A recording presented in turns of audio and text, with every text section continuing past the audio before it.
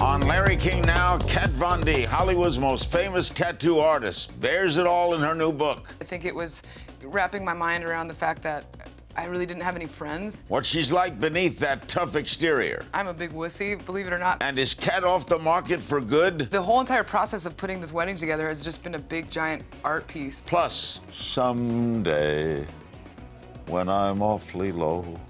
All next on Larry King Now.